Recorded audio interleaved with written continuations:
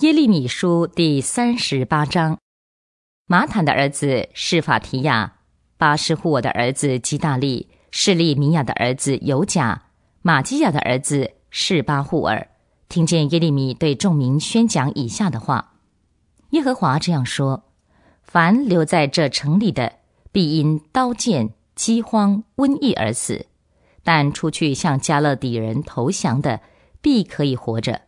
他们必捡回自己的性命，得以生存。耶和华这样说：这城必交在巴比伦王军队的手中，巴比伦王必攻取这城。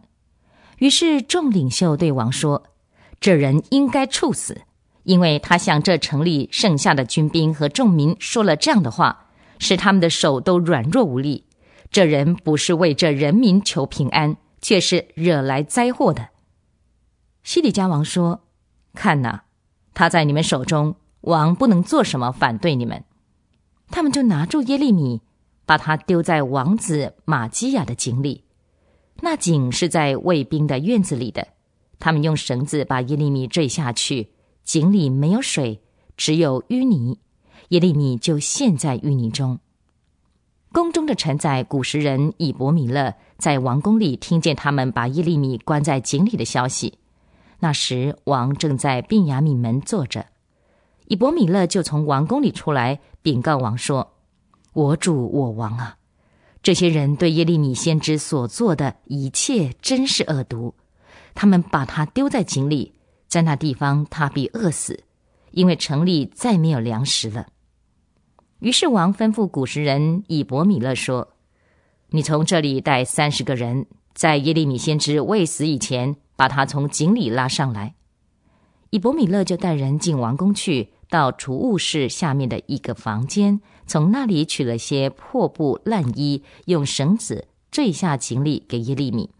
古时人以伯米勒对耶利米说：“把这些破布烂衣垫在你的腋下，然后束上绳子。”耶利米就这样做了。于是他们用绳子把耶利米从井里拉出来。这样，耶利米可以住在卫兵的院子里。后来，西底家王派人去把耶利米先知带到耶和华殿中的第三道门那里去见他。王对耶利米说：“我要问你一件事，你什么都不可以向我隐瞒。”耶利米对西底家说：“我若告诉你，你不是要杀死我吗？我若向你建议，你必不听从我。”于是，西底家王私下向耶利米起誓说。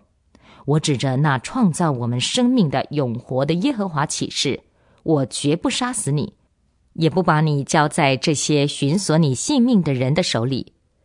耶利米对西底家说：“耶和华万军的神，以色列的神这样说：你若出去归降巴比伦王的将领，你的性命就可以存活，这城也不会被火焚烧，你和你一家都可以存活。但你若不出去归降巴比伦王的将领，这城就必交在加勒底人的手中，他们必放火烧毁这城，你自己也不能从他们的手里逃脱。西底家王对耶利米说：“我害怕那些已向加勒底人投降的犹大人，恐怕加勒底人把我交在他们手中，他们就会凌辱我。”耶利米说：“加勒底人必不会把你交给他们，求你听从我对你所说的耶和华的话。”这样，你就可以平安无事，你的性命也可以存活。你若拒绝出去投降，耶和华指示我的话就是这样：看哪，犹大王宫里所有剩下的妇女都必被带出来，去到巴比伦王的将领那里。那些妇女必对你说：“你的盟友善护了你，左右了你。现在你的脚陷在泥沼中，他们就都离弃你。”你所有的后妃和你的儿女都必被带出来，去到加勒底人那里。你自己也不能从他们的手里逃脱，因为你必被巴比伦王的手抓住，这城也必被火烧毁。西里加对耶利米说：“不要给人知道这些话，这样你就不会死。众领袖若听见了我和你说过话，就会来见你，对你说：告诉我们，你对王说了些什么。”不可向我们隐瞒，我们就不会杀死你。王又对你说了些什么？你就要对他们说：我只是把我的恳求呈到王面前，求他不要把我送回约拿丹的房子去，免得我死在那里。”所有的领袖果然来见耶利米，查问他，他就照着王所吩咐的这一切话告诉他们。于是他们不再追问他，因为王和他说话的内容没有给人听见。这样，耶利米留在卫兵的院子里，直到耶路撒冷被攻取的那一天。